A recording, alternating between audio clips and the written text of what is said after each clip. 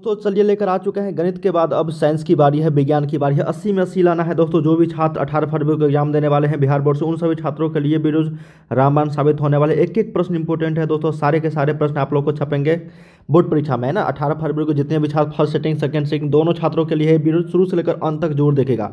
जितने भी छात्र चैनल पर नए हैं, दोस्तों, चैनल को अभी तक सब्सक्राइब नहीं किया, जल्दी से कर लीजिए ताकि इसी तरीके से हम लोग जैसी न्यू वीडियो लेकर आऊँगा, हर एक सब्जेक्ट का नोटिफिकेशन आपको मिलते रहेंगे। वीडियो के नीचे लाल रंग में सब्सक्राइब बटन होगा, दबा दीजिए और साथ में ऑल नोटिफिकेशन सेलेक्ट कर लीजिएगा। वीडियो को लाइक करके शेयर ज़रूर कीजिए एक एक छात्रों में, ठीक है ना?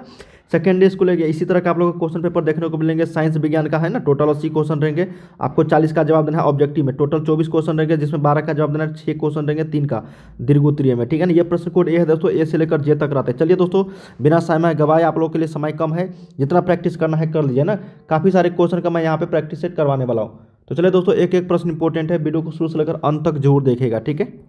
तो दोस्तों, इस सेट का पहला प्रश्न है दोस्तों एक एक प्रश्न इंपॉर्टेंट है। वीडियो के नीचे आपको डिस्क्रिप्शन में वेबसाइट का लिंक है दोस्तों, इसको पीडीएफ डाउनलोड करने के लिए जाइए। दोस्तों, सभी साथ डाउनलोड कर लीजिए। पहले वीडियो को शुरू से लेकर अंत तक जोड़ एक एक प्रश्न इंपॉर्टेंट है, फिर से बता रहा हूँ, ठीक है? चलिए पहला क्वेश्चन है कि किस दर्पण का फोकस दूरी ऋणात्मक लिया जाता है? देखिए दोस्तों, किस दर्पण का? तो वो दर्पण है दोस्तों आपका अवतल दर्पण। अवतल दर्पण का जो फोकस दूरी होता है वो ऋणात्मक लिया तो ऑप्शन नंबर बी के साथ चलना है। चलिए अगला प्रश्न देखते हैं हम लोग। कहा गया कि लेंस की फोकस दूरी और वक्ता त्रिज्या में क्या संबंध है? तो लेंस की फोकस दूरी और वक्ता त्रिज्या में संबंध है एफ़ बराबर आर बाय टू या फिर आर बराबर टू एफ़ क्या होता है? आर बराबर टू एफ़ या फिर एफ़ बराबर दोस्तों आर बाय टू जो आपको ऑप्शन नंबर बी में है। चलिए अगला प्रश्न देखते हैं। निम्नलिखित में से किस माध्यम का अपवर्तनांक अधिक है? तो माध्यम जो होता है अपवर्तनांक जो तो वो हीरा का अपवर्तनांक सबसे ज़्यादा होता है दोस्तों टू पॉइंट फोर टू। क्या होता है? टू पॉइंट फोर टू होता है दोस्तों तो ऑप्शन नंबर डी के साथ चलना है हीरा का अपवर्तनांक सबसे अधिक होता है। अगला प्रश्न, सामान्य दृष्टि के लिए सुस्पष्ट दृष्टि की अल्पतम दूरी कितना है? तो पच्चीस सेंटीमीटर, राइट आंसर हो जाएगा चार का ऑप्शन नंबर बी। अगला पर समय कम है दोस्तों, इसलिए मैं आप लोग को यहाँ पे काफ़ी सारे क्वेश्चन प्रैक्टिस करवाने वाला हूँ, ठीक है ना? ये सारे प्रश्न इंपॉर्टेंट है और बिहार बोर्ड के द्वारा जारी ऑफिशियल क्वेश्चन पेपर है ये सारे, ठीक है? यहाँ से छपेंगे ही छपेंगे। पांचवा है कि श्वेत प्रकाश का कौन सा रंग किसी प्रिज्म से गुजरने के पश्चात सबसे कम झुकता है? तो आप लोग जानते होंगे दोस्तों, ये मान लो प्रिज्म है, इससे अगर कोई प्रकाश की किरण गुजरता है तो सात रो में विभक्त हो जाती है, नीचे बैंगनी रहता है और ऊपर रेड। तो सबसे कम अगर झुकने की बात करें दोस्तों तो ये आपका क्या होता है? लाल होता है ना भिबज्योर ऊपर वाला सबसे कम झुकेगा, नीचे वाला सबसे ज़्यादा, बैंगनी सबसे ज़्यादा, ये सबसे ज़्यादा। याद रख लीजिएगा, बैंगनी सबसे ज़्यादा और लाल जो है सबसे कम, ठीक है ना? चलिए इस इस क्वेश्चन का पाँच का सी हो जाएगा लाल।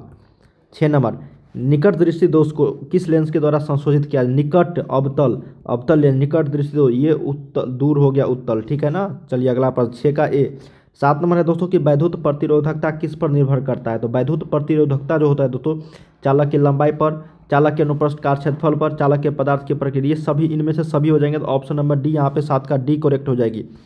अगला प्रश्न, विद्युत शक्ति का ऐसा मात्रक क्या है? तो विद्युत शक्ति का ऐसा मात्रक जो होता है दोस्तों वाट होता है, जिसको हम लोग डब्लू से निरूपित करते हैं तो ऑप्शन नंबर आठ का ए यहाँ पे सही हो जाएगी।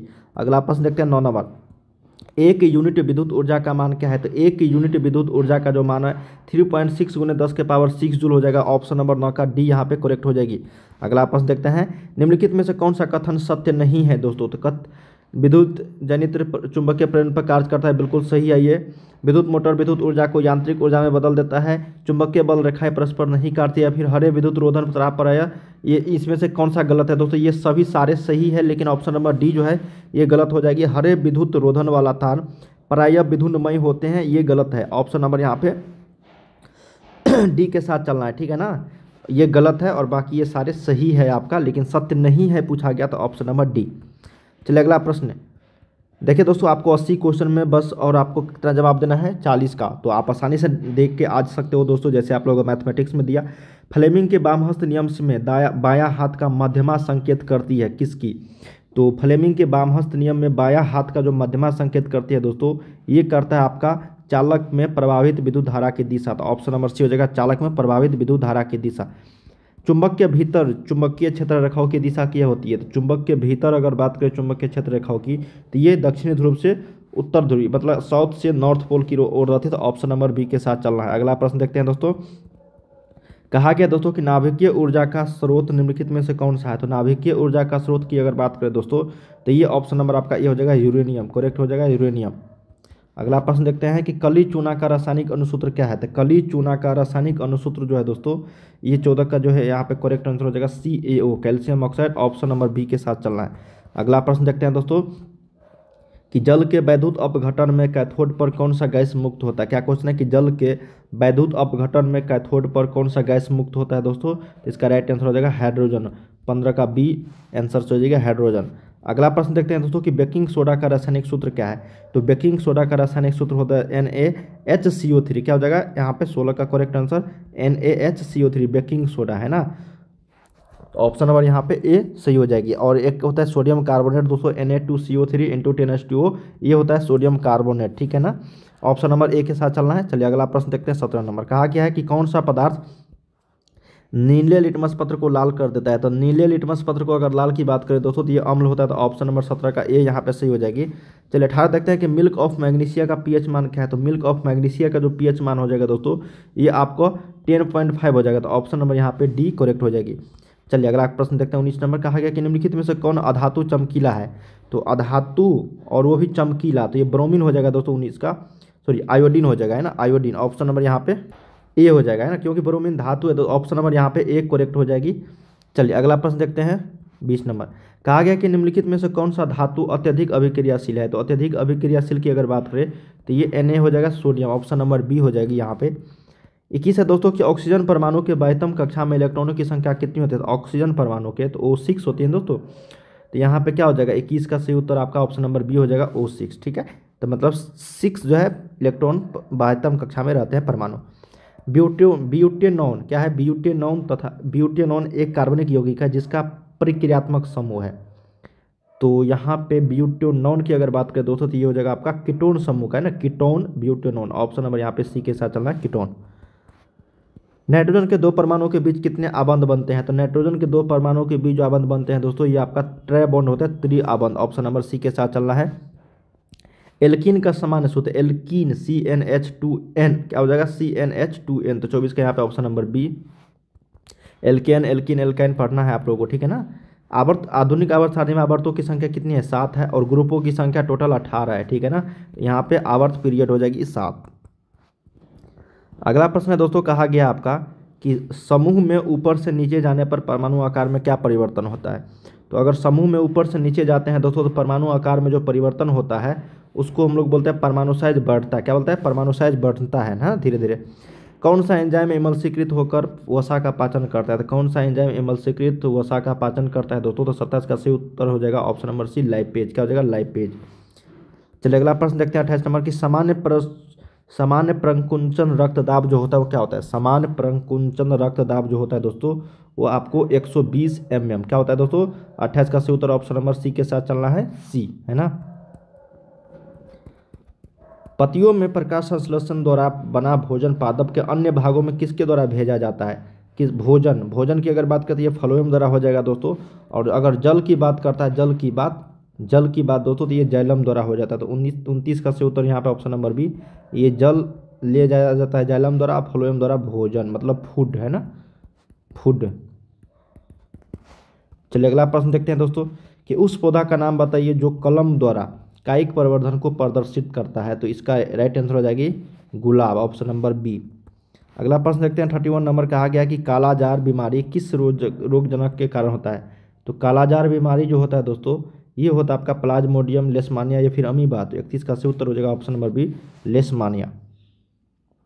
Thirty two है दोस्तों कि निम्नलिखित में से कौन द्विलिंगी पुष्प है? तो द्विलिंगी पुष्प की अगर बात करें दोस्तों तो यहाँ पे से उत्तर हो जाएगा गुलाब पुष्प ऑप्शन नंबर थर्टी टू का ए सही हो जाएगी। थर्टी थ्री देखते हैं, दोस्तों, कहा गया कि मानव में घ्राण घराई स्थित होता है। तो मानव में घ्राण घराई जो स्थित होता है कहाँ पे? तो यहाँ पे थर्टी थ्री का सही उत्तर हो जाएगा, दोस्तों, कानो, नाकों में, ऑप्शन नंबर बी हो जाएगा नाकों में, है ना? अगला प्रश्न देखते हैं, दोस्तों, थर्टी फोर नंबर कि हमारे शरीर की सभी ऐच्छिक क्रियाएँ नियंत्रित होती है। तो हमारे शरीर के जितने भी ऐच्छिक क्रियाएँ, दोस्तों, नियंत्रित होती है, वो होता है, दोस्तों, आपका प्रमस्तिष्क से। तो ऑप्शन नंबर ए के साथ चल रहा है थर्टी फोर का ए। अगला प्रश्न देखते हैं कि जंतुओं में वृद्धि हार्मोन स्रावित होता है। तो जंतुओं में वृद्धि हार्मोन जो स्रावित होता है दोस्तों, ये होता है आपका पीयूष ग्रंथि। से ऑप्शन नंबर ए के साथ चलना है। अगला प्रश्न देखते हैं कि अनुवांशिकता का सिद्धांत किसने प्रतिपादित किया था? तो अनुवांशिकता का जो सिद्धांत प्रतिपादित किया था दोस्तों, ये मेंडल के द्वारा। ऑप्शन नंबर ए के साथ चलना है। थर्टी सेवन है कि स्त्रियों में लिंग गुण सूत्र होता है। तो स्त्रियों में अगर लिंग गुण सूत्र की बात करें दोस्तों तो एक्स एक्स होता है और एक्स वाई आपका पुरुष में होता है ना? और ये एक्स एक्स आपका स्त्रियों में होता है। तो याद रखिएगा दोस्तों, ऑप्शन नंबर बी। अगला प्रश्न देखते हैं दोस्तों, यहाँ पे हम लोग। कहा गया कि निम्नलिखित में से कौन जैव निम्नीकरणीय कचरा है? तो जैव निम्नीकरणीय कचरा यहाँ पे थर्टी एट का सही उत्तर हो जाएगा। Option number D, tissue paper. अगला प्रश्न देखते हैं कि आहार तथा पाइन किस राज्य की जल संग्रहण व्यवस्था है दोस्तों? आहार तथा पाइन तो ये है आपका बिहार का। तो ऑप्शन नंबर उनचालीस का डी हो जाएगा यहाँ पे। नेक्स्ट है दोस्तों, चालीस नंबर कहा गया आपका कि प्राकृतिक संसाधनों का प्रबंधन के लिए सबसे उपयुक्त विकल्प निम्नलिखित में से कौन है? तो चालीस का सही उत्तर ऑप्शन नंबर डी हो जाएगा। कम उपयोग, पुनः चक्रण, पुनः उपयोग, ये उपयुक्त विकल्प है दोस्तों, प्राकृतिक संसाधनों का प्रबंधन के लिए। चलिए दोस्तों, अब हम लोग लघुत्तरीय प्रश्न देख देखिए दोस्तों लघुत्तरीय प्रश्न की अगर बात करें तो ये सारे प्रश्न पूछे गए कि प्रकाश के परावर्तन या फिर अपवर्तन के नियमों को लिखे। पूछा ही जाएगा दोस्तों तो ये याद रखिएगा। चलिए, अब देखिए, एक आपको आरेख, आलेख पूछेगा, किरण आरेख दोस्तों, जैसे यहाँ पे अवतल दर्पण के वक्ता त्रिज्या या फिर उत्तर लेंस पूछ लेंस में पूछे, या फिर अवतल दर्पण में। तो इसको आप लोगों को देख लेना है एक बार, ठीक है ना? फिर प्रकाश का परिकीर्णन से आप क्या समझते हैं, ये पूछा जा सकता है। विद्युत विभव को परिभाषित करें, है ना? ये सारे प्रश्न। फिर आपको एक न्यूमेरिकल प्रश्न दे दिया जाएगा, जो काफ़ी ईजी है दोस्तों एच बराबर आई स्क्वायर आर टी वाले फार्मूला से इसको बना लेनी है, जब भी उष्मा वाले क्वेश्चन आए तो। फिर आपको चुंबकीय क्षेत्र रेखा एक दूसरे को प्रतिशत क्यों नहीं करती है? इसको आपको आंसर करना है। नवीकरणीय और नवीकरणीय स्रोतों में दो अंतर लिखना है। ठीक है ना? तो यहाँ पे किस परिस्थिति में फ्लेमिंग के दक्षिण बामहस्त नियम का यहाँ पे प्रयोग किया जाता है, ये भी आप लोग को यहाँ पे पूछा गया है। तो दोस्तों, हम लोगों ने यहाँ पे टोटल आठ क्वेश्चन लघुत्तरीय किए हैं, जिसमें से आपको पाँच तो हंड्रेड परसेंट आएँगे ही आएँगे। और साथ में जितने भी मैंने आप लोगों को फोर्टी क्वेश्चन बताए हैं ऑब्जेक्टिव टाइप वो सारे क्वेश्चन इंपॉर्टेंट थे दोस्तों, जो आप सभी के एग्ज़ाम में डायरेक्ट देखने को मिलेंगे। चलिए दोस्तों, हम लोग लेके आते हैं नेक्स्ट वीडियो तब तक के लिए जय हिंद, जय भारत। और वीडियो को लाइक करके शेयर ज़रूर कीजिएगा और चैनल को सब्सक्राइब ज़रूर कर लेना, ठीक है?